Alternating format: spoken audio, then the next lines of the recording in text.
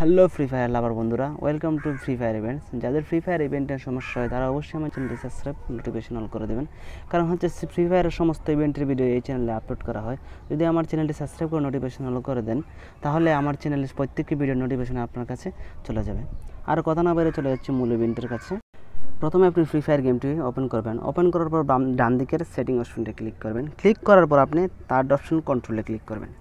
কন্ট্রোলে ক্লিক করার পর আপনার কাস্টম হুডে ক্লিক করবেন। দেখা যাচ্ছে যে এখানে দেখুন, আমার গ্লোয়ালের অপশন এবং গ্র্যানেটের অপশন দুটি আলাদা করা হয়েছে।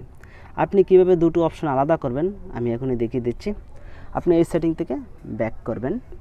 একবার ব্যাক করার পর দেখুন, আপনার কাছে এরকম একটি এন্টারপ্রাইজ আসবে। আসার পর দেখুন, একটি লেখা আছে grenade slot grenade slot slot যখন আপনি এখানে সিঙ্গেল করে রাখবেন, তখন আপনার সামনে এই যে গ্র্যানেট শুধু শুধু গ্র্যানেটের অপশনটা অন থাকবে।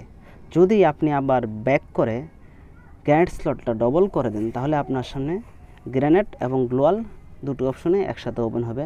যখন আপনার কাছে এনিমি আসবে, তখন আপনি চাইলে গ্র্যানেটের সময় গ্র্যানেট ইউজ করতে পারবেন গ্লোয়ালের সময় গ্লোয়াল ইউজ করতে পারবেন, কোনো সমস্যা ছাড়াই। যদি আমার ভিডিওটি ভালো লাগে থাকে অবশ্যই চ্যানেলটি সাবস্ক্রাইব করে নোটিফিকেশন অল করে দেবেন। আজকের মতো এখানে বিদায় নিচ্ছি। সবাই ভালো থাকবেন, সুস্থ থাকবেন। Tata good bye